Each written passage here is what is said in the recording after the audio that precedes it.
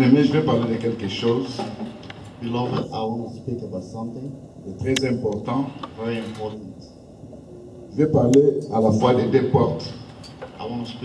Two doors at the same time. La porte de Mifkad The door of the, the Mifkat doors et la porte des eaux. Doors of the world. On va prendre nos Bibles. Let's take our Bible. On va lire Néhémie 3, 31. Néhémie 3, 31. Nehemiah 3, 34, 31. or 21. 31. 31, I'm sorry. Et après, Néhémie 3, 26. And then Nehemiah 3, 26. Néhémie chapitre 3, verset 31, nous lisons au nom de Jésus. Après lui, Malkija, d'entre les orfèvres, travailla jusqu'aux maisons des Métinéens et des marchands, vis-à-vis de la porte de Milkan, jusqu'à la chambre haute du point. 26. Ainsi sont les néticiens demeurant dans la colline trava- travailleurs jusqu'à vis-à-vis de la porte des eaux, à l'orient de la tour en Sélie. En anglais. Okay, I'll read in English. Next to him, Malchijah, Malchiah, one of the goldsmiths, made repair as far as the house of the temple serv of the temple servant and the merchant. Opposite, opposite the inspection gate and as far as the room above the corner. 26. 26. And the temple servant living on the hill of the Hof, of the of Hophel made repair up to a point opposite the water gate toward the east and the projecting tower. On va prendre encore Ézéchiel 47, verset 1er, vous descendez. Ézéchiel 47, Let's take Ezekiel 47. 47, du verset 1, vous descendez. verse 1 Tu peux lire en anglais. Du 1, vous descendez. Verset 1, et puis tu descends. I'll start reading from verse 1. The men brought me back to the entrance to the temple. And I saw water coming out from under the threshold of the temple toward the east. For the temple face, face for the temple face east. The water was coming down from under the south side of the temple, south of the altar.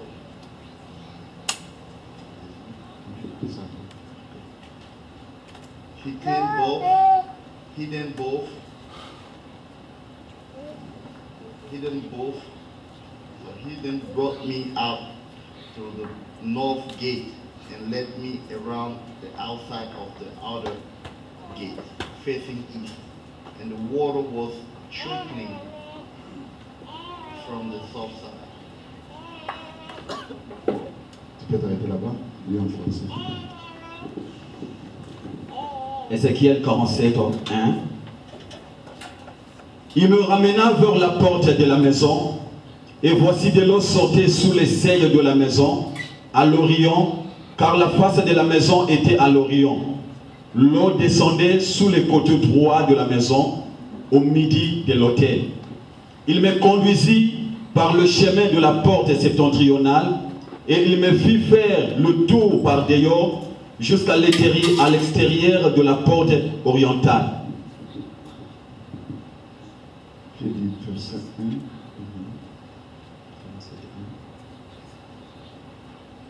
Tu peux lire ici. Deux. Termine ici. Une avance. Trois. Une. Deux. Deux. Trois. Ézéchiel 47 et 2. Il me conduisit par le chemin de la porte septentrionale et il me fit faire le tour par dehors jusqu'à l'extérieur de la porte orientale. Et voici l'eau coulée du côté droit. Lorsque l'homme s'avança vers l'Orient, il avait dans la main un cordeau et il mesura mille coudées. Il me fit traverser l'eau et j'avais de l'eau jusqu'aux chevilles. Il mesura encore 3000 coudées. Il me fit traverser l'eau et j'avais de l'eau jusqu'aux genoux. Il mesura encore 1000 coudées et me fit traverser et j'avais de l'eau jusqu'aux reins. Il mesura encore 1000 coudées. C'était un torrent que je ne pouvais traverser car l'eau était si profonde qu'il fallait y en nager. C'était un torrent qui ne pouvait traverser. Amen. hein? Amen. Vous pouvez vous asseoir. You may take a seat. Bien aimé, je vais parler de quelque chose de très important. Beloved, I want to speak about something very important. Mais comme nous sommes en train par- de parler sur les portes, Since we are speaking about the doors, j'ai pris la porte de Mifkap qu'on appelle la porte d'inspection. the Mifka door that was called the inspection door. Na français, kuna baloba te inspection, mais en anglais, nde balobi yango mpenza bien. In French, didn't say nothing about inspection, but in English, it talked about inspections. Yango va parler sur la porte d'inspection. This is what we, spoke about the inspection doors. Mpe baye kobeta lisolo ya la porte des eaux. And they have, Hmm? and they have Hmm? this. Oh, j'étais en train de parler lingala. I didn't know. it was Lingala. Bon, je dis ceci. On était en train de parler sur les deux portes. We're speaking about two doors. La porte de Mifkat, qu'on appelle la porte d'inspection, the door of Mifkat that was speak, called the door of inspection, et la porte des eaux. and the inspection, uh, the water doors. S'il faut situer d'abord la porte d'inspection, s'il faut situer, s'il faut situer. If we have to identify the door of inspection, Cette porte était à la droite, directement en regardant, on voit le temple. that door was on the right, and when you look through the door, you see the temple. C'était à l'orient où était cette porte? C'était à l'orient, à l'est. It was on the east. Vous allez constater ici que la façon dont on, appelait- on avait placé la ville de Jérusalem, You will find out the way that they, they have placed the Jerusalem city, cette porte d'inspection that door of inspection, regardait directement le temple. facing directly to the temple. Or, en regardant le temple, Or when you look at the temple, derrière cette porte, il y avait les mots des oliviers. behind that door there was a mountain of olive, o- olives. Prophétiquement parlant, When you're speaking prophetically, il y a beaucoup de choses à l'intérieur de cette porte. there's a lot of things inside this door, Derrière et devant. behind and front. Parce que si la porte d'inspection est notre Seigneur, The door of inspection is our Lord. ça veut dire c'est lui qui est l'accomplissement de toutes choses. That means that He's the accomplishment of everything. Ça veut dire c'est de l'éternité passée jusqu'à l'éternité future. The past eternity to the future eternity. Des promesses que Dieu avait faites. Promise that God have made. Vous allez comprendre avec moi You understand with me? que la montagne des Oliviers, the month of the olive mountain. c'est là où le Seigneur est monté. This is when the Lord went up. Et vous allez constater encore You're gonna find out again. l'ange qui est venu descendre, The, the angel came down, il va dire aux apôtres, said to the apostles, de la façon dont vous avez vu le Seigneur monter, de la façon dont vous avez vu le Seigneur monter, il reviendra de la même façon. Ses pieds se poseraient sur la montagne des Oliviers. C'est comme qui dit, La montagne des Oliviers, c'est le point de départ pour monter start. Uh, is a the point of departure et le point d'arrivée aussi pour descendre. and the arrival point. Alors, dans cette porte, In that door, la Bible dit que le Seigneur est allé montrer à Ézéchiel the Bible said that the Lord showed Ezekiel juste une porte just a door qui se trouve dans le ciel. who was in the heaven. On appelle ça la porte d'Orient. Et on dit que c'est la porte des eaux. Dans la porte d'inspection, nous voyons les accomplissements de toutes les promesses de Dieu. Parce qu'après avoir inspecté le tout, il doit mettre fin à toutes choses, prendre son église et accomplir tout ce qu'il a promis sur la terre. accomplish everything that He has promised on earth. Mais avant d'entrer là-bas, là-bas, Before, before we get there, à l'Orient, dans l'Est, on voit un temple, we see a temple, une maison. a house. Mais de l'eau était en train de couler. The water was coming out.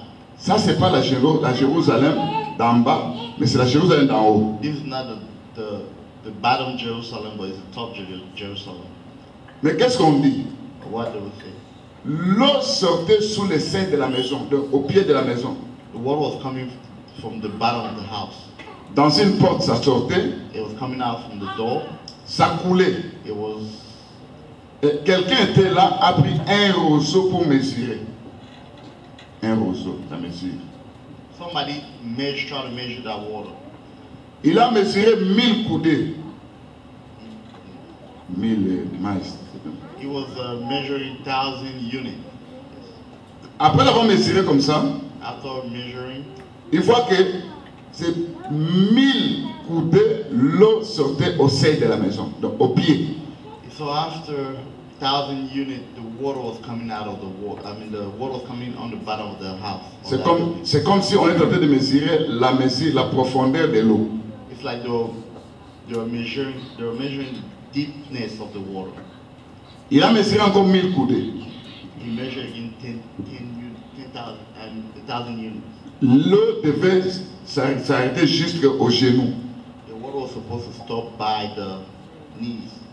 Il, a, il mesure encore 1000 coudées. He measured again 1,000 units. De l'eau se situe là où il y a les reins, là où il y a la ceinture. And the water was here to his waist. 1000 coudées encore, 1,000 units again. là, il fallait nager. C'était la profondeur. It was the deepness. Toutes ces choses bien aimées, All these things, beloved. si je dois entrer en profondeur, je vais parler de plusieurs choses à la fois. If I have to go in deepness, talk. I'll Parce qu'il y a quatre choses, quatre mesures, quatre dimensions. four. Si on peut aller à l'Indem, If we're gonna, if we gotta go là on verra aussi qu'il y avait un fleuve qui s'est divisé en quatre bras. We're gonna see that there was a river was divided by four. Et quand l'apôtre Paul est venu, When the apostle Paul came, il a parlé aussi sur la parole de Dieu, he spoke too about the, the word of God que pour qu'on peut prêcher that we can preach dans la connaissance, in the knowledge, dans la révélation, in the revelations, dans la prophétie in the prophecy, et dans la doctrine. in the doctrine. Mais maintenant, quand vous regardez cette eau, And now when you see that water, là on parle de, de, de, de, la maison. and we're talking about the bottom of the house. Ça, ce sont des chevilles. Those are Ça veut dire les pieds. those are the legs of the house. Oh, la Bible dit que- qu'ils sont beaux les pieds qui annoncent la bonne nouvelle de Dieu. And the Bible says what is beautiful, the legs who, who speak about the word of God. Ça veut dire l'évangile que nous prêchons. I mean the evangel that we preach. Il y a un début de tout ça. There is the beginning. Le début de tout. Beginning of everything. Où on doit prêcher à tout le monde Where we have la parole de Dieu. Where we have to preach, preach to everybody the word eau n'a pas de profondeur. That water don't have no deepness. Là où nous parlons que Dieu a besoin de tout le monde God need everybody pour être sauvé. to be saved. C'est comme si on prenait le filet, on jetait ça dans l'eau. It's like we we are throwing fish net in the water Et on doit attraper toute espèce de, de, de, de- de- poissons. And we have to fish any kind of species of Alors, fish. en prêchant la bonne nouvelle, When we preach a good word, là, nous voyons la première coudée, you see the first you first on a mesuré 1000 coudées. you see the first phase where there was Thousand. thousand units. Maintenant, en regardant ça, When you see that, vous allez constater que Dieu, en ce qui concerne les plats du salut, God, in what concerns the plan of the salvation, parce que le salut devait venir en Israël. because the salvation was supposed to come to Israel, Mais maintenant, l'eau qui devait couler but now the water was supposed to devait aller de profondeur en profondeur. was supposed to go from deepness to deepness. Parce que quand nous voyons les genoux, When we see the knee, la Bible dit que tout genou fléchira devant le Seigneur Jésus-Christ. The Bible says all knee will bow but in front of the Lord Nous voyons l'adoration. Si quelqu'un est prêché par l'évangile, si quelqu'un est prêché par l'évangile, il doit arriver à un niveau, il doit s'agenouiller devant le Seigneur. uh. Là, c'est l'eau. C'est l'eau qui se situe juste au genou. Mais il doit aller jusqu'au rein, ça veut It dire la ceinture. it have to go all the way. The water have to go all the way to the waist. Bon, l'apôtre Paul dit, saignez les reins de votre entendement. Saignez. Saignez les reins de votre entendement. Ça veut dire, tu- donc ferme, donc, mets ta ceinture par exemple, mets quelque chose là où se trouvent les reins. Parce que si les reins c'est ça. It, it means to, to tie your, your your waist. Maintenant, les reins c'est pas les kidneys. Alors maintenant, en regardant ça, selon la Bible, à ce niveau-là, ça veut dire l'oreille doit ouvrir, doit s'ouvrir. At that time, it means the ears have to be open. Mais on dit que ce ne sont pas ces oreilles, ce sont les reins qui doivent être bien saignés. It says that it's not your your uh, your ears, but it have to be your Les reins. Okay your waist that has to be tight. Maintenant, ces reins-là, pour que ça soit saigné, Those waists for it to be tight. ça veut dire on doit maintenant, quelqu'un doit ouvrir son oreille pour écouter exactement la pensée de Dieu à l'intérieur. Somebody has to really listen to what the the word is coming, Oh, pour écouter, and for you to listen, on doit être circoncis d'oreille. you have to be circumcised by ears. C'est là où, bien aimé, l'oreille doit être coupée et remis encore. This is where your ears have to be cut and put back. C'est pourquoi Pierre devait couper l'oreille de Malchus. This is why Peter had to cut the ears of Marcus. En coupant l'oreille, ça veut dire on fait la circoncision. When, when you cut the ears, it means that you made the circumcision. Quand on remet l'oreille, When you put back the ears, c'est comme si quelqu'un n'avait pas d'oreille. like.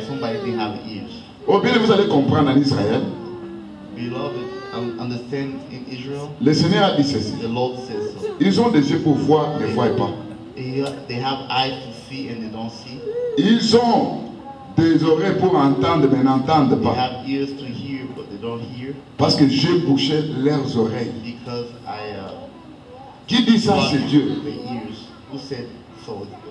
Ça veut dire pour comprendre Dieu, I mean, to understand God, Dieu, Dieu doit t'ouvrir d'abord l'oreille spirituelle. God has to lift, uh, open the spiritual ears. Si cette oreille est ouverte, If those ears are open, c'est là où bien aimé, le salut va entrer dans ta vie. this is when salvation come.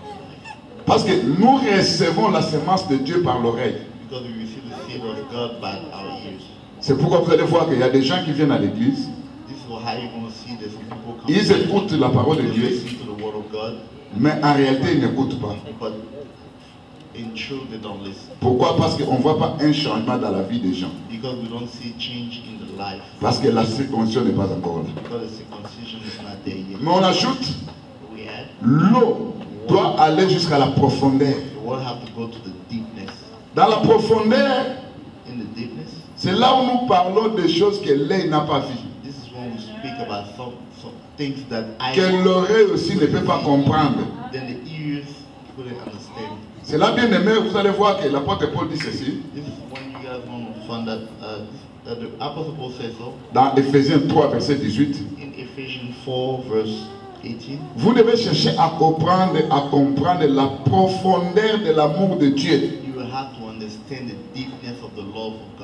Cette profondeur de l'amour de Dieu, c'est quand Dieu vient inspecter toutes choses. Ça veut dire tout est prêt, It means everything is ready. il y a le départ Uh, the rapture is there pour l'Église, for the church. il y a les accomplissements des jugements de Dieu, There's the accomplishment of the ju- God judgment. il y a la grande tribulation There's the great tribulation. et il y a le jugement dernier. And there's the last judgment. Parce qu'après la grande tribulation, c'est le millénium. After the great tribulation is the millennium. Alors, dans ces deux portes, In those two doors, la porte des eaux et la porte d'inspection, between the doors and of water and the door of inspection, il y a des choses que je vais faire sortir à l'intérieur. there's some stuff that you guys will have to take Où je vais parler de ta vie. We're going to talk about your life. Pourquoi, bien aimé Why, beloved? Quand l'apôtre Paul dit dans Ephésiens 1, 17 à 21, When Apostle Paul said in Ephesians 1 17 to 21, le Dieu de notre Seigneur Jésus-Christ, the God of our Lord Jesus Christ, le Père de gloire, the Father of glory, vous donne un esprit de sagesse gave you a spirit of wisdom et de révélation and revelation dans sa connaissance, in his knowledge, qu'il illumine les yeux de votre cœur, who take out the eyes of your heart afin que vous sachiez so you know, so that you know. quelle est l'espérance qui s'attache à son appel, what is the expectation that is tied to his call, quelle est la richesse de sa gloire, what is the uh, richesse de sa gloire, uh, richesse. the riches of glory, de son héritage qu'il réserve au sein. Heritage of the heritage that reserved for the holy. Ça veut dire quoi? What is supposed to be. Quand nous croyons, When we believe, nous acceptons Christ. we accept Christ. Dieu doit d'abord ouvrir tes yeux. God has to open your eye. Est-ce que vous me comprenez Il doit ouvrir tes yeux. you have to open your eye. Et l'oreille, tes oreilles doivent être ouvertes. Your eye, your ears have to be also open.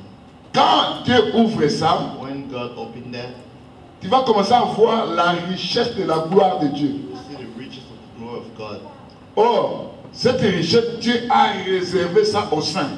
Or those those riches was uh. C'est pourquoi l'apôtre Paul dit ceci. This is what Apostle Paul says Dans 2 Corinthiens 5, verset 1 à 9. in 2 Corinthians 5, Nous, sa- 1 to 9.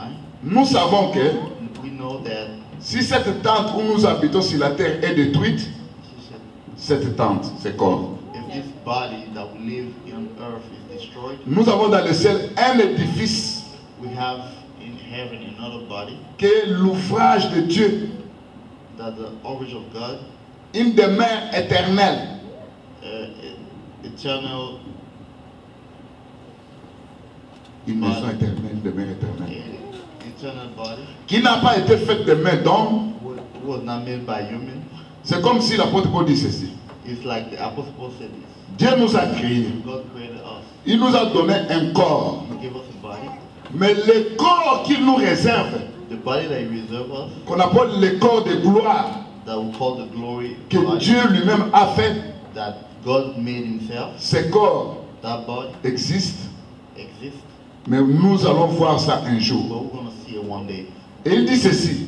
He said so. Étant dans ce corps que nous avons, ce corps terrestre,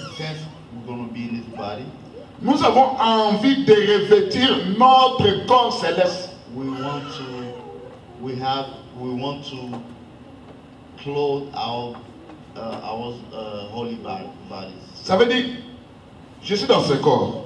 In this body? Toi, en tant qu'enfant de Dieu, You, as a son of God, tu dois comprendre d'abord que ton corps, you have to understand that your body, c'est quoi? what is it? Parce qu'avant dans le monde, When you came on earth, Dieu nous a donné un corps terrestre, God gave us a, a, a health.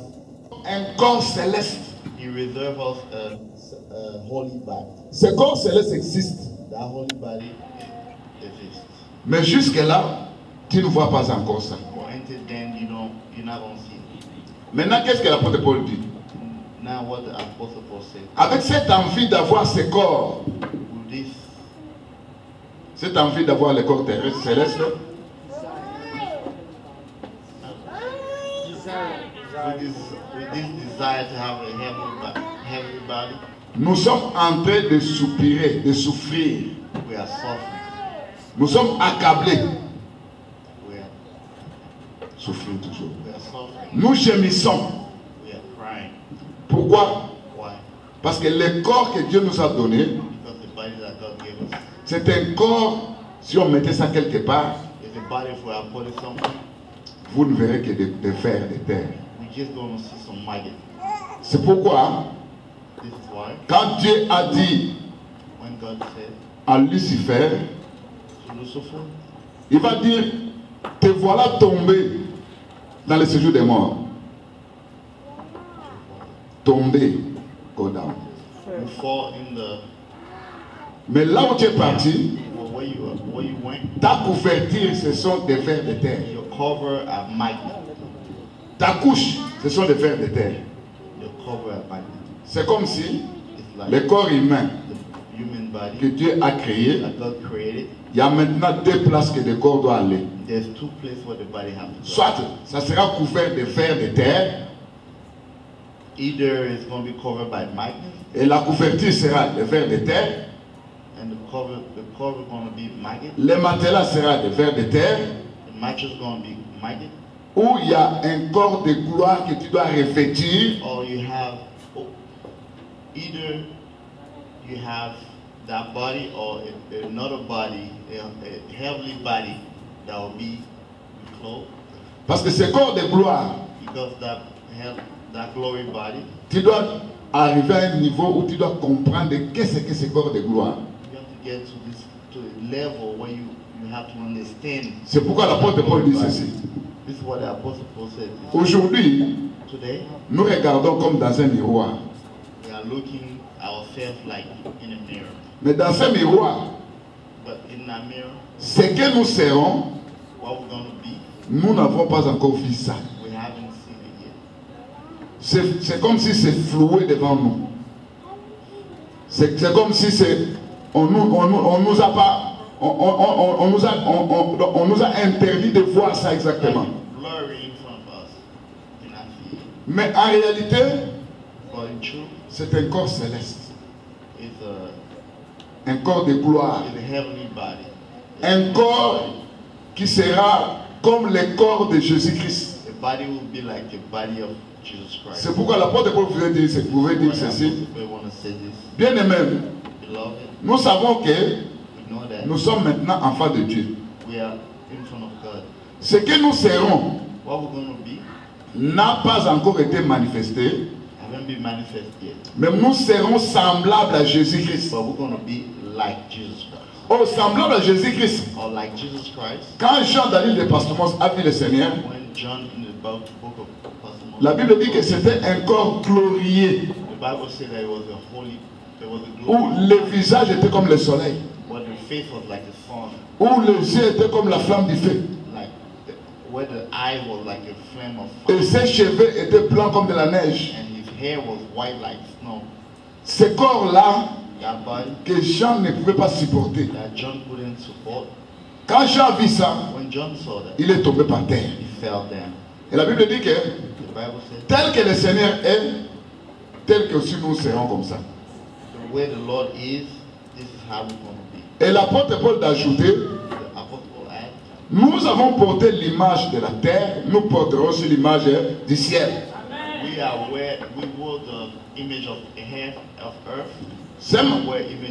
Ce, matin, je voudrais t'offrir le cœur, les yeux et les oreilles the, eye- the ears, pour comprendre exactement que ce corps mortel ne te dira jamais merci. Tu peux tout donner à ce corps.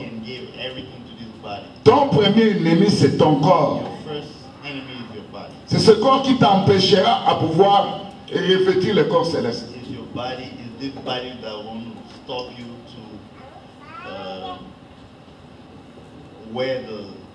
The heavenly body. Maintenant, l'apôtre Paul dit ceci? Nous avons envie de revêtir ce corps céleste, ce corps d'en haut. Mais si de moi,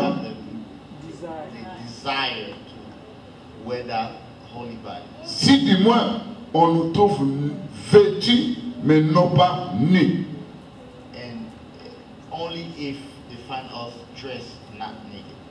Or, être vêtu et ne pas être nu, ça veut dire quoi? Or being dressed, not being naked. What does it mean?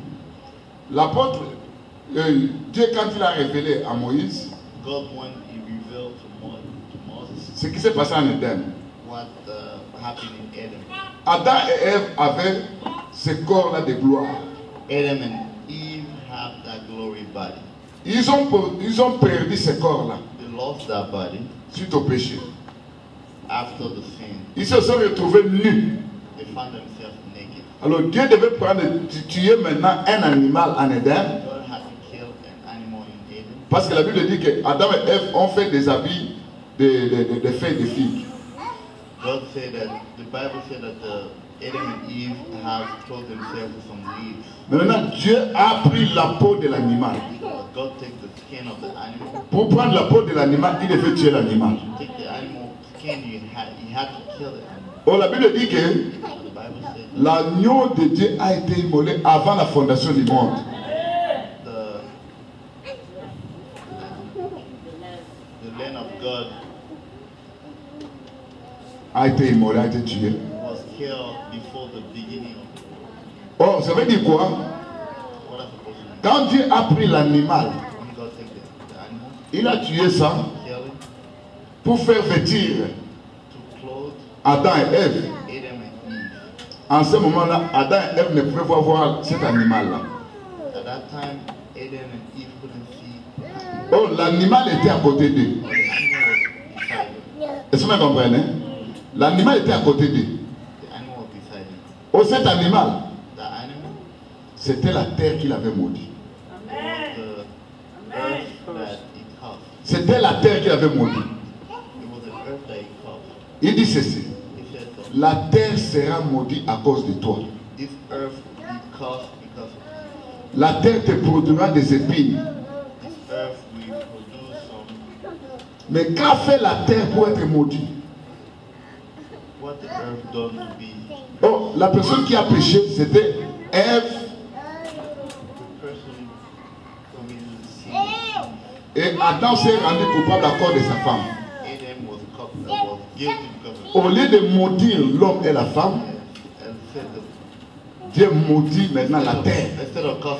uh, La terre sera maudite à cause de toi. Il te produira des épines. Des épines. C'est ce que vous allez voir dans la Bible. Quand le Seigneur est venu, quand il a pris le corps, c'était la parole maintenant qui a pris un corps. Oh, ce corps-là, c'était un corps charnel, c'était la poussière. uh. Et cette poussière devait être maudite. Mais cette poussière n'a rien fait. Parce que Jésus-Christ n'avait pas péché. C'est l'homme qui a péché. Jésus-Christ est devenu péché à cause de nous. Ça, il, était, il a été maudit sur la croix. On a mis une couronne d'épines sur sa tête. C'est pour expliquer la terre qui devait produire les épines. C'est ça, bien aimé, vous allez comprendre avec moi. Continuez. Allons-y. Si on va commencer à chercher les mots, ça viendra avec le temps. Vous allez voir avec moi que sur la croix. Christ a subi la malédiction. Sur sa tête, on avait mis une couronne d'épines.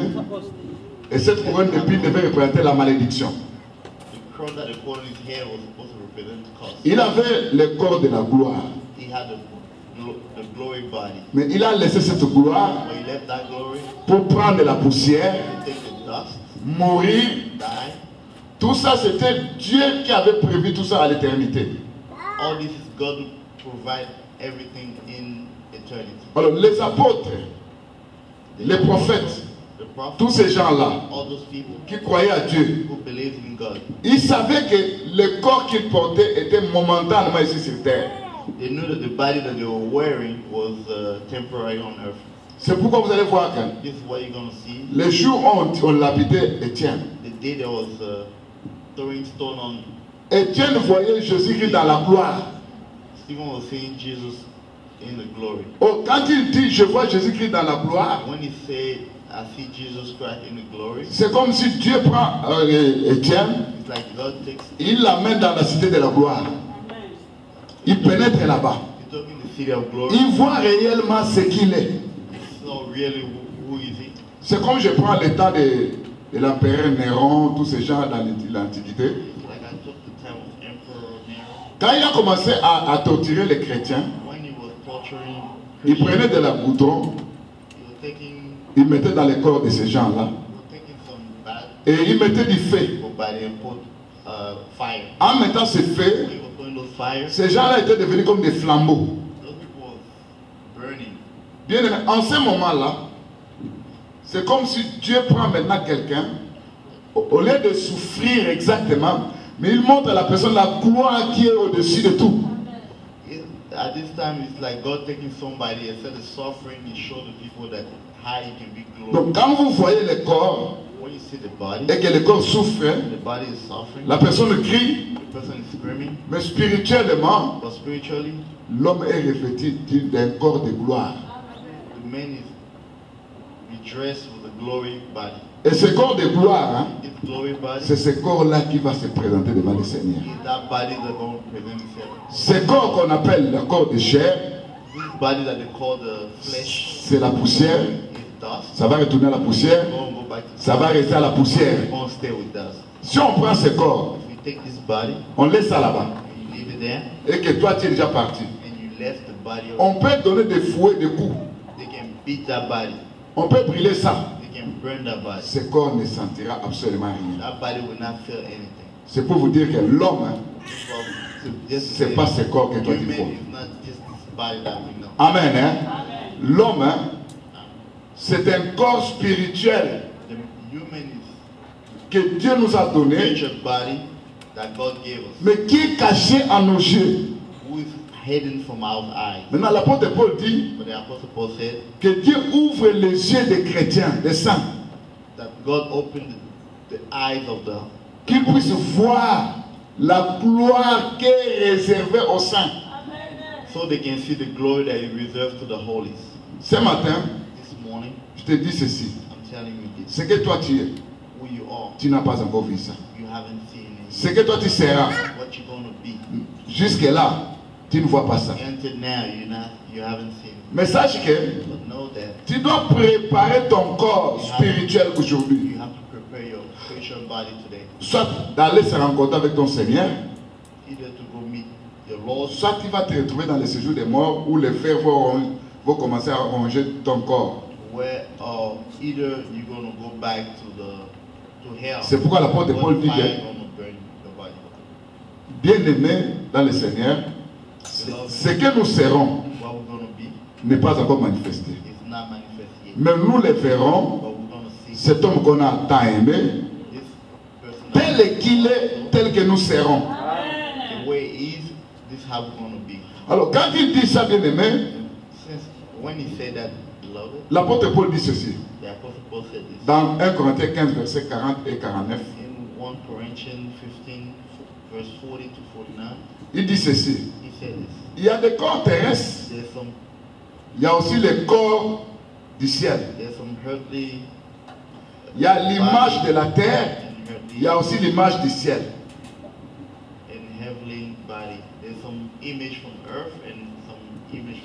Il y a quelqu'un qu'on appelait Abraham. Someone was called Abraham. Dieu a appelé Abraham. Qu'est-ce que Dieu a fait? Dieu a montré à Abraham la cité céleste. God showed Abraham the holy, the heavenly city. La cité qui était construite par Dieu. The city was that was built by God. C'est pourquoi Abraham dans la chair, why Abraham in the body. il n'avait pas envie de construire une maison en étage. He didn't want to build like a, a building. Oh, vous n'oubliez pas que du temps de Nimrod, on avait déjà commencé à construire des maisons en étage. And don't forget, in Emerald time, they was building already towers. Mais quand Dieu a appelé Abraham, Abraham, voyait la cité céleste. Ce qui est écrit dans Hébreu 11, verset 9 à 10. It was wrote in April, April 11, 19. C'est comme si Abraham se promenait, mais il voyait cette cité qui a des solides fondements. Cette cité où- dont, dont Dieu est l'architecte et il est lui-même le constructeur. C'est pour Adam, euh, euh, Abraham, hein. En allant, il savait que un jour je vais quitter ce corps. when he was going, he knew that one day I, he was going to leave this. Il regardait à ce qui est spirituel. Il voyait cette cité. He was seeing that city. Il voyait le corps qu'il va porter. He was seeing the body that he was. Le corps qui n'aura pas à souffrir parce qu'il a crié au Seigneur. C'est pourquoi l'apôtre Paul, non l'apôtre Jean, quand Dieu est allé montrer à l'apôtre Jean la Jérusalem d'en haut, when God uh, showed uh, to Apostle Paul the il, a, heavenly Jerusalem, il avait vu une ville. Son éclat était comme la pierre de jaspe. he saw a city in the Oh, la, la, oui, oui, la, pierre, la pierre de jaspe, hein, C'est- une- pierre précieuse qui a plusieurs couleurs à la fois. Des fois rouge, jaune, vert, brun, vert de glace. Ça veut dire, ça veut dire quand vous regardez ça, l'apôtre Paul dit, l'apôtre Jean dit que j'ai vu cette ville, j'ai vu l'éclat de cette ville comme la pierre de jaspe. C'est comme si ces gens-là, quand ils servaient Dieu, hein, leur vision était en haut. It's like those people when they were serving God, the vision was C'est quoi? Ils pouvaient mourir à cause de Dieu. this is why they could have died because of God. Ils avaient envie même d'aller le plus vite possible. They wanted to go as soon as possible. Pourquoi? Parce qu'ils voyaient les corps célestes qu'ils vont porter, la cité qu'ils vont aller vivre là-bas, alors que sur la terre ici, juste here on earth, 50, 60, 70, 80 ans, on meurt. 80 years, 100 years you die. Mais si on a servi le corps, on va recevoir maintenant une couche de verre. On va recevoir maintenant une couverture de verre. Alors, voyant ça, c'est tout le monde qui aspirait maintenant à porter le corps de gloire. Le jour où le Seigneur va t'offrir les yeux pour te faire voir ton corps, hein, peut-être tu, tu- tu diras, je n'ai plus besoin de rester dans ce corps. C'est pourquoi ces gens-là, en se promenant, ils voyaient toujours la gloire de Dieu. Ils voyaient ce qu'ils seront. You're seeing what it was going to be. Si aujourd'hui les chrétiens today continuent dans la chair à faire de n'importe quoi, anything parce que les yeux sont encore fermés. because the eyes are already, Ils ne savent pas que ce corps mortel, c'est un corps qui va rester sous la terre. Aujourd'hui, le Seigneur peut te prendre par la mort. Ce corps n'entrera pas dans le royaume des cieux. This body will not go into heaven. Dieu va te prendre sous forme d'un corps céleste. Si tu as connu Dieu, tu as reçu Dieu. Si, était- si tu étais revêtu de l'habit de Dieu, parce que cet habit, c'est Dieu seul qui confectionne ça. Et c'est Dieu seul qui va venir te mettre ça. And it's only God who will come. Mais toi, ton problème est de recevoir ce Dieu-là dans ta vie. Parce que la Bible dit que nous avons envie de porter ce corps céleste, ce corps d'en haut. The Bible said that we want to wear that heavenly body. Mais si du moins on nous trouve vêtus, non pas nus, And only if they find us dressed, not naked. c'est pourquoi les apôtres, les prophètes, tous ces gens-là qui acceptaient même la mort, mangés par les lions, brûlés par le feu, torturés. Mais ils renonçaient pas à ce Dieu-là parce qu'ils voyaient juste d'abord la cité, la Jérusalem d'en haut, là où ils doivent aller, les corps qu'ils vont porter, ce corps de gloire. Et en voyant ça, pour eux, ils pouvaient dire la mort m'est nothing. Pour eux, ils pouvaient dire je peux mourir d'un moment à l'autre, ça ne me dit absolument rien. I can die anytime. It's not gonna mean anything. C'est pourquoi il y a des gens même qui ont peur de la mort. hein. Parce qu'ils ne savent pas que because they don't know. Ceux qui ont Jésus-Christ en eux ne peuvent pas mourir. Le corps va rester la poussière, mais ton esprit automatiquement ça va se présenter devant le Seigneur. Donc il y aura la séparation de ton corps et de ton esprit. Et ton esprit va revêtir le corps de gloire. Et ce corps de gloire, comment ça va se présenter chez Dieu? D'abord, ça doit être un corps qui a aussi une robe. Cette robe, on doit avoir ça ici sur la terre. La Bible dit que l'époux du Seigneur s'est revêtu de fin lin.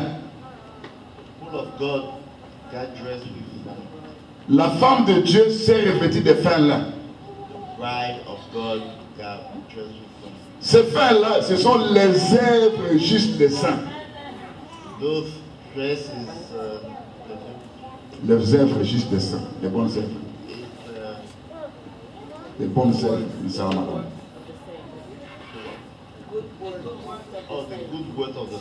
Pourquoi je dis ça?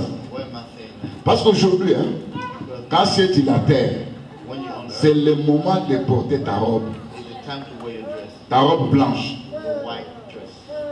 Quand Jean a vu la Jérusalem d'en haut, il a vu douze portes, he saw 12 doors, il a vu douze fondements. he saw 12 foundations. Les portes avaient le nom des des- douze tribus d'Israël, The doors had the name of 12 tribes of Israel. tandis que les fondements, c'était les douze apôtres. And the foundation was the 12 apostles.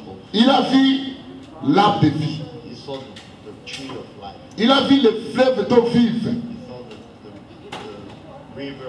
Et l'apôtre la- la- Paul, dans le livre d'Hébreu, dit ceci. Ces gens qui sont partis, s'ils avaient envie de retourner, ils allaient retourner. Mais là où ils sont, ils sont tellement dans la gloire qu'ils n'ont pas envie de retourner. C'est pour dire quoi? What I'm supposed to Bien aimé, sache que sur la terre, nous sommes des étrangers et des passagers. Mais tu dois préparer ton départ aujourd'hui. Tu dois te revêtir de ta robe aujourd'hui. Parce que soit il y a la couche de fer qui va te recevoir, soit les anges de Dieu viendront te recevoir. or you're gonna have angel of God. Il n'y a que deux chemins. C'est pourquoi, quand vous lisez 1 Corinthiens 15, verset 53, when you read 1 Corinthians 15, verset 53, 15, l'apôtre Paul dit ceci. L'apôtre Paul dit ceci. En un clin d'œil, en un clin d'œil, nous changerons nos corps. Ce corps mortel revêtira l'immortel. Nous serons transformés et nous irons dans les airs à la rencontre du Seigneur. Tout ça parce que tu as reçu ton Seigneur, All because you have received the tu as été revêtu de la robe. Mais cette robe, le Seigneur dit, heureux ceux qui lavent leurs robes, heureux ceux qui lavent leurs robes, parce qu'ils vont manger l'arbre de vie. On lavait les robes de ta, de ta robe, ça veut dire que tu dois te purifier chaque jour. the Lord said that people who wash the dress will be happy. Parce marchant, Because when you're walking, tu as ta robe avec toi. you have your dress with you. Ce sont, c'est ça l'habit que Dieu t'a fait porter. This is what the dress that God gave you. Soit tu purifies cette habit chaque fois, Either you purify that clothes all the time. Soit tu laisses l'habit sale? Either you leave that body dirty. N'oubliez pas que quand le Seigneur a parlé de la fête, de- du parabole des fêtes de, de- de noces, il a dit ceci. Dans la salle, il y avait quelqu'un qui n'avait pas d'habit de noces. Il- uh. Il appela cette personne son ami, mon ami. He called that person my friend. Quand on dit mon ami, When you say my donc l'ami du Seigneur était dans l'église, qui adorait Dieu, praying. Qui est passé par les scènes, par les, les, les, les, les, les- les aides de l'évangile, by the evangel. qui adorait Dieu, Who was praying, praising God. qui écoutait la parole de Dieu. We were listening to the Mais il n'avait pas l'habit de fête. but he didn't have the dress. Et le Seigneur in that dit, body. dans ce moment-là, on va foutre cette personne à l'extérieur. The Lord said that uh, that person needed to go Il y outside. aura les plaies et les grincements des dents. People, there's some people who are going to cry. Aujourd'hui, quand nous nous promenons, nous, nous- nous marchons dans la vie, tu dois être prêt à être enlevé. Pour être prêt à être enlevé, tu dois être revêtu de l'habit d'en haut. Tu dois laver tes habits chaque jour. You gotta wash your clothes every day. Et si la trompette sonnait, en ce moment-là, ce corps va, va être transformé. Tu vas te retrouver dans les airs avec le Seigneur. Mais ici, sur la terre, la vie va continuer. C'est pourquoi, bien aimé, quand nous regardons, le Seigneur était sur la terre, il a dit, je vais aller vous préparer une place. Je reviendrai vous prendre. Le Seigneur ne viendra pas prendre n'importe qui. Il viendra prendre son épouse. Aujourd'hui, c'est le temps où tu dois te préparer. Parce que tu ne sais pas ce qui arrivera demain. C'est le temps où nous avons ce corps de gloire au-dedans de nous, mais que nous ne voyons pas. Mais viendra un jour, nos yeux vont souffrir pour voir ce corps de gloire. En ce moment, les anges de Dieu viennent te prendre. Mais si toi, dans ta vie, But if in your life tu t'en fous, tu te vois dans le monde, tu peux faire n'importe quoi, tu peux faire n'importe quel péché, là, tu te prépares déjà une couverture de fer. Tu es en train déjà de te préparer avec ce- cette couche de verre. Pourquoi, bien aimé? Parce que c'est ici sur la terre qu'on doit être revêtu. C'est ici sur la terre On qu'on doit se purifier. C'est ici sur la terre qu'on doit préparer son corps céleste. Si toi tu dis que demain, je ferai ceci, "To- tomorrow I'll do this, je vais préparer demain. Demain, c'est pour le Seigneur et non pour toi. Parce que tu ne sais pas ce qui peut arriver d'un moment à l'autre. Ne chéris pas ton corps. Parce que si tu chéris ton corps, tu vas donner n'importe quelle chose que ton corps va te demander. Et ce corps ne dira jamais merci à toi. Ce, ce corps, c'est un des premiers ennemis. Parce que ton premier ennemi, quand toi tu regardes les combats, oh, il y a des magiciens, il y a des féticheurs qui me combattent, il y a des sorciers. Mais tu as un ennemi qui, est collé à ton, esprit. Cet ennemi-là, c'est ton corps. Et ce corps, il aime toujours manger, boire. Il ne dit jamais merci. Et quand tu obéis à ton corps, When you, you listen to your body, il te pousse à aller faire l'impudicité, toi tu obéis. Il te pousse à aller boire, d'aller boire du vin de temps en temps, toi tu obéis. Mais tu es pas en train de préparer ta couverture. Ça veut dire la couverture de verre. You're preparing the cover of my, La couche de verre, tu es en train de préparer. En ce moment bien aimé, n'attends pas que quand le Seigneur viendra, toi tu seras enlevé. Parce que la Bible nous dit. La robe qu'on appelle le fin là, Dieu te met ça aujourd'hui quand tu es dans la terre. Tu as cette robe. Maintenant, tu vas commencer à laver cette robe chaque fois. Afin d'avoir droit à l'arbre de vie. Afin d'avoir droit à l'enlèvement de l'église. Afin que si le Seigneur venait aujourd'hui, tu sois prêt à aller avec lui. Et c'est ça que l'apôtre Paul a demandé. Que Dieu puisse ouvrir vos yeux pour que vous voyez la gloire que Dieu réserve aux saints. so you so that you see the whole, the glory that God reserves to the holy. Est-ce que vous me comprenez? Pour que vous voyez aussi la cité céleste que Dieu réserve à ses- à- aux saints. Uh. Ça veut dire quelque chose que Dieu a réservé pour nous. I mean something that God reserved for us. C'est pourquoi les prophètes qui prophétisaient de la part de Dieu,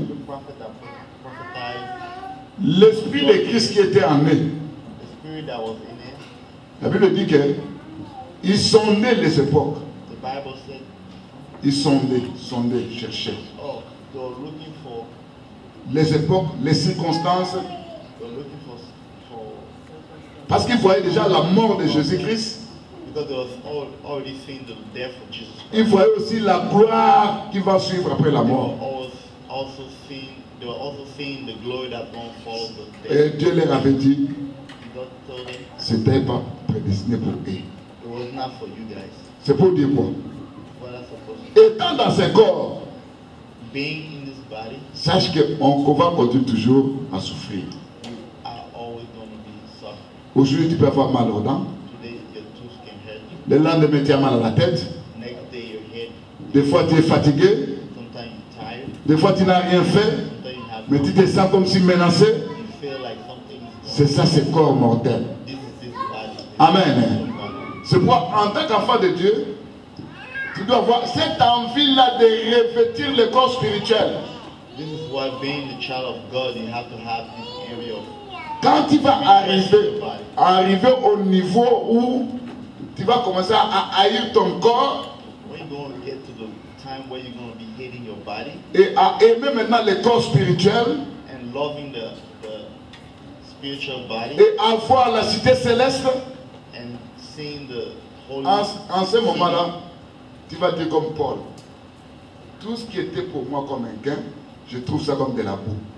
then you're going to tell like Paul, everything that I used to win, I feel like it's nothing. Tout ce qui avait de la valeur devant moi, je vois que c'est sans valeur. Everything that value in front of me, I feel as Les maisons, the house, les habits, the clothes, les véhicules, cars. ça c'est rien This is nothing devant ce que nous servons. in front of what we're going to be. Regarde tous ceux qui ont l'argent aujourd'hui. Look, look at everybody. Most of the people have money. Qui parmi eux est allé avec son argent? Who among them went with the money? Ils ont laissé ça sur la terre. They die and they left the money. Mais en laissant sur la terre, s'ils n'avaient pas Christ dans leur vie, c'est la couche de fer qui les entend. they will have a lot of might. C'est la couverture de fer qui attend les gens. They won't be covered by might. Mais si tu avais Christ dans ta vie, tu avais l'habit de Christ, tu étais vêtu et tu te purifiais, you're washing the dress, là, bien-aimé, sois sûr que tu verras la gloire de Dieu. then believe that, be sure that you will see the glory of God. Est-ce que vous me comprenez C'est pour dire quoi? Dans la porte d'inspection, Dieu viendra inspecter. Il verra comment tu as pu marcher, comment tu as accepté le Seigneur, comment tu marchais devant lui. Est-ce que Dieu est prêt pour qu'il puisse te prendre? Si tu es prêt aujourd'hui, est-ce qu'il va le voir? La Bible dit, dehors, cette ville, il y aura des chiens, des impudiques, des magiciens, des gens de mauvaises filles. Ils seront dehors. C'est pour te dire, prépare-toi à la rencontre de ton Seigneur. Just to say that, get ready. Sois, sois prêt, parce que ce corps mortel que nous avons ne te dira jamais merci. Be ready because this mortal body will never say Ce corps mortel, il est tellement ingrat. Il te pousse à faire de n'importe quoi, ce corps. this body will push you to do anything. Il va t'amener aussi à l'enfer. Il ne te dira jamais merci, mais le corps que nous avons envie de porter, But, but the body that we want to wear, ce corps céleste que Dieu fait que nous purifions, nous lavons, that God wants to wash ce corps-là, tu feras que la gloire de Dieu of God En ce moment-là, quand tu vas te présenter devant le Seigneur, tu verras la cité céleste. So that when you're going to present your body, yourself in front of the Lord, you'll see the, Et quand tu vois la cité céleste, pleine de gloire, toi aussi tu as reçu le corps de gloire. When you see the holy city, En ce moment-là, full bien of aimé, glory, c'est comme si tu vas regretter tous les temps où tu étais dans le monde. Mais parce que tellement toi tu vois ce monde comme si c'était un monde qui t'appartient, like alors tu te sens vraiment que tu es collé au monde, you feel like you're tied to this world, mais le monde va te décevoir. Attache-toi au Seigneur Jésus-Christ. Aie envie de, cette corps, de, de ce corps de gloire. and try to Aie envie de la Jérusalem d'en haut. Parce que Dieu ne peut pas donner quelque chose à quelqu'un qui n'en vit pas ça. If you don't want anything so bad, God will not give it to you. Si toi tu n'aspires pas à ce corps céleste, Dieu va te donner ce corps céleste comment? If you don't aspire this body, this holy body, God, how si, toi tu n'aspires pas à la Jérusalem d'en haut, Dieu va te faire pénétrer là-bas euh, comment? If you don't aspire for the Jerusalem, the, the holy Parce que les apôtres, you're not going to get there. ils aspiraient, ils aspiraient à ça. The, L'apôtre Paul pouvait dire, j'ai envie d'aller pour rester auprès du Seigneur.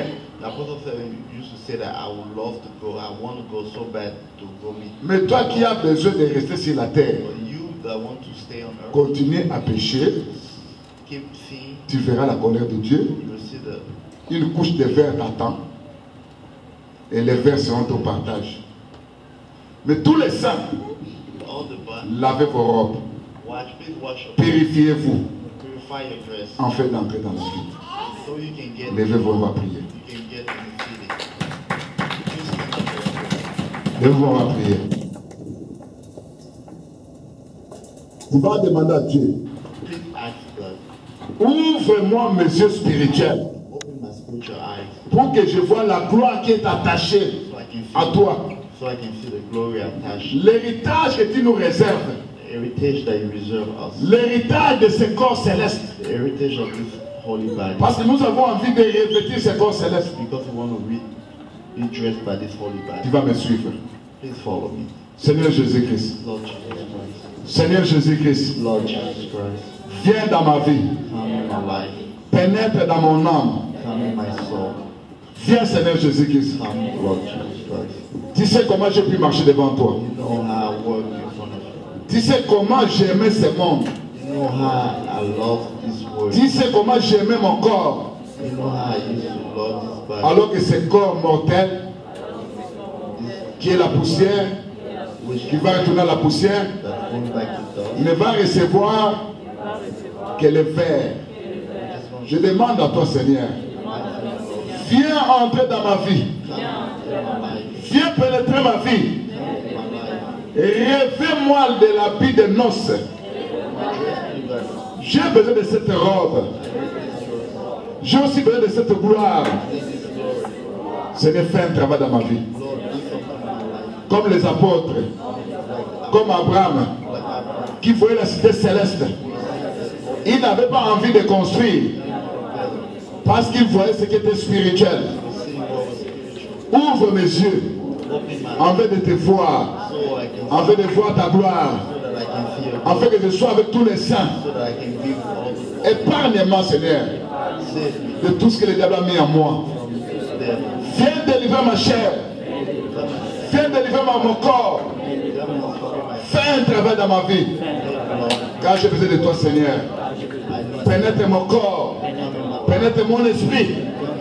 Fais-moi revêtir. Enlève ma nudité. Enlève ma nudité. Que je sois revêtu de toi, mon Seigneur. Viens dans ma vie. Prie toi-même. Prie au nom de Jésus-Christ. Prie, prie, prie, prie. Prie, prie. Prie, prie. Prie notre bien-aimé. Prie, prie. Seigneur mon Dieu, mon roi, regarde ces mondes que nous vivons. Combien on a de désir de venir vers toi, de chercher ta gloire. Combien on a ce désir que nous puissions te voir. Ce corps mortel qui ne donnera jamais merci. Seigneur mon Dieu, mon roi, qui vient nous détruire. Nous avons besoin de toi, Seigneur. Fais un travail dans nos vies. Seigneur, manifeste-toi. Oh mon Dieu, mon roi. Révèle-nous de ton habit, Seigneur. Nous avons besoin de ton habit céleste pour que nous ne soyons pas trouvés nus. Viens nous revêtir. Parce que le corps de gloire, la Bible nous dit que nous avons porté le corps terrestre, nous porterons aussi le corps de gloire. Mais pour porter ce corps de gloire, nous avons besoin d'être trouvés vêtus et non pas nus. Fais un travail dans nos vies. J'ai pris Seigneur Jésus-Christ. hein. Tu viens de d'envoyer ton parole. Tu viens d'envoyer ta parole. Ta parole est là pour nous revêtir. Révèle-nous de ta vie, de la vie de noces. Révèle-nous de la robe céleste. Ouvre nos yeux pour que nous fassions l'appel que tu nous as donné. Le corps de gloire que nous devons porter. holy body that we have. Enlève en nous, Seigneur, le désir de la chair qui détruit nos âmes. that destroy us. Révèle-nous de ton habit céleste. Au nom de Jésus-Christ, nous avons envie d'entrer dans la chose d'en haut. Nous avons envie de participer à l'enlèvement de l'Église. Fais ce travail dans nos vies. Au nom de Jésus, que nous allons prier. Amen. work of the church. Que Dieu bénisse sa parole.